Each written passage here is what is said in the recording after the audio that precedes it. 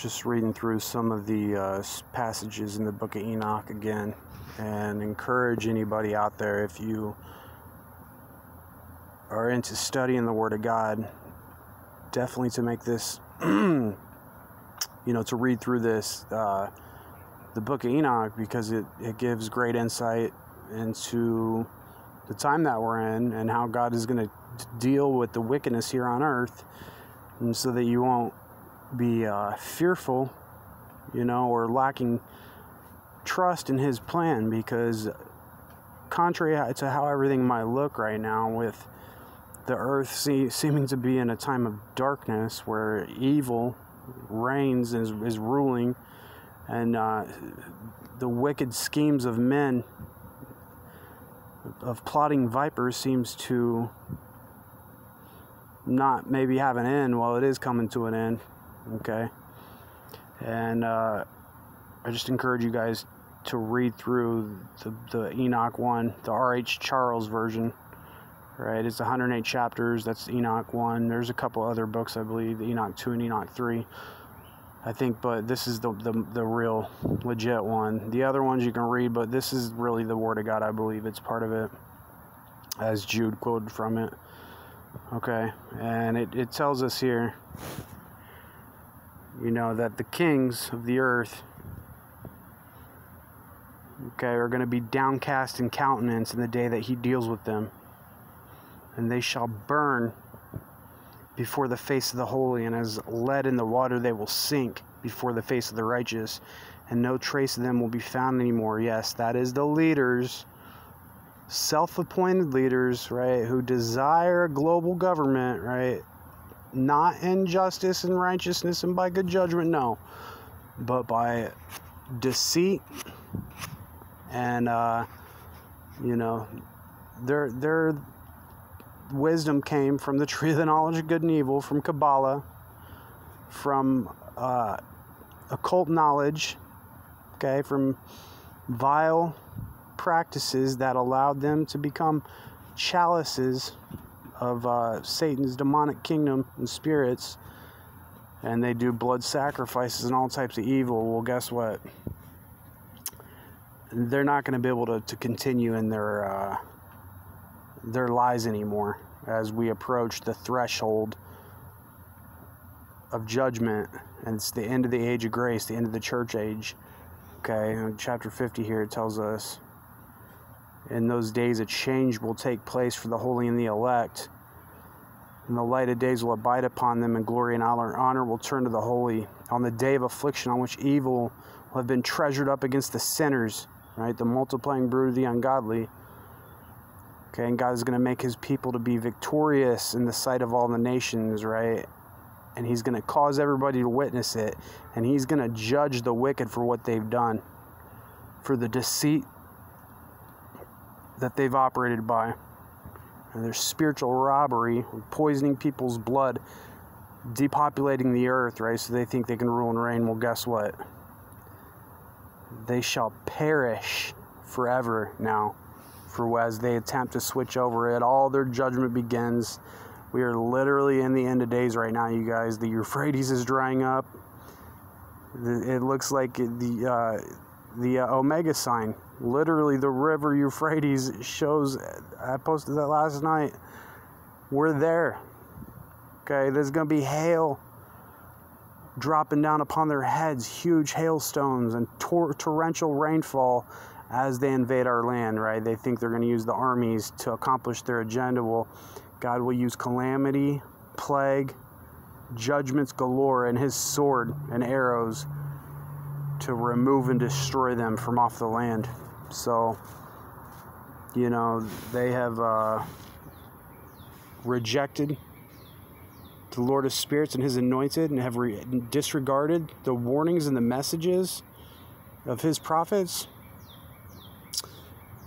And He's been merciful and patient, and He's going to bring it down upon their heads now. So I encourage you guys read through the book of Enoch.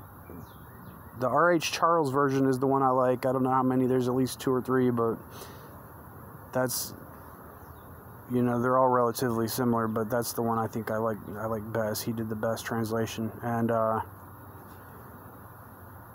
you're to see God's judgment fall here soon. And unrighteous shall not maintain itself, and at his judgment the un- unrepentant will perish before him and will have no continuance.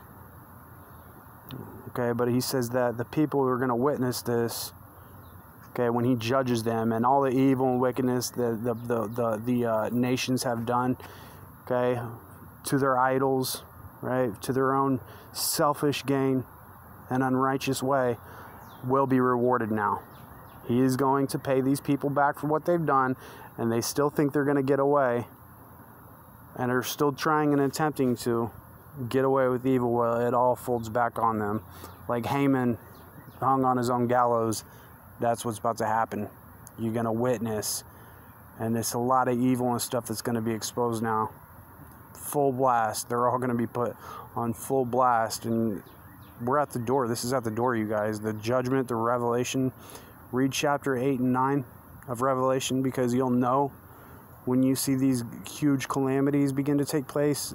We are definitely in the Revelation. We already are. We have been. But it'll become un- undeniably obvious when you see that. And also, chapter 7 is when the change happens. In those days, the change will take place for the holy and the elect, and the light of days will abide upon them. Right? He said he's going to open his eyes upon the house of Judah. Right? That's when he comes down to sit in his tabernacle, and he changes his people. Okay, a change will take place.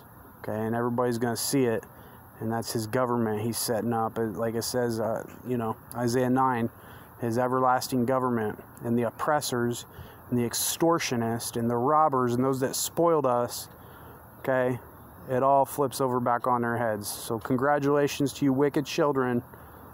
You're going to be spoiled when you, as you cease to end, make an end to deal treacherously. You're going to be dealt very treacherously with thee. Why? Because of men's blood, right? For the violence of the city and of the land and of all that dwell therein. Okay, and they're gonna, we're going to rise up suddenly. All it is is just a, just a shift in awareness and spirit. We got enough oil right now to shift we're just waiting on God now. And all it is is just like he did in the, the, the, first miracle. He turned water to wine, right? In the wedding, the six pots. And that's symbolic of when this change happens. It's the first miracle, is his wedding. When he comes down and the marriage is consummated, he enters into his people. He turns water into wine. Okay, and then it's threshing time. Gathering, binding tares in the darkness, right? At evening tide trouble, okay? And before the morning he is not, and the wicked are all about to be removed and spoiled as they attempt to go all digital. We are at the door, you guys. So read through the book of Enoch. The the audio on YouTube is like four and a half hours, I think, or in between three and a half, four and a half hours. So, uh, you know, this is important and it'll get, it'll strengthen your faith. But recognize we are at that time now, you guys. So, uh, you know, this is what's going to happen. Okay, in these in these days they shall become downcast of countenance. Okay, those who possess the land because of the works of their hands, right? The the Federal Reserve fractional reserve system, okay, is a, a cabal. Okay, that they're not going to maintain on the day of their anguish and affliction, they will not be able to save themselves, and I will give them into the hands, over into the hands of my elect, as straw in the fire, so they will burn before the face of the holy. Okay? And he said he's going to let us chop off their necks as they've set up all these. Uh, there's 30,000 guillotines in the U.S. that they've made the U.S. military has, is ready to use as they switch over into this time, and they'll be hunting down Christians. But Isaiah 34 is for the militaries of the earth. They serve the elites. They're genetically modified souls, human beings. Uh, I don't, I'm not sure if there's going to be any type of recourse for them unless God does. I don't don't think it's going to be. It's going to be just judgment. Okay, and they get are going to get what they deserve. So I encourage you guys heed what I'm saying and realize the wrath of God will fall soon. Okay, there's plenty of crimes against humanity that have been done and then they want to silence and censor us. Well, it all gets flipped back over on all their heads. So watch now. Okay, and we'll talk more later, you guys. Love you.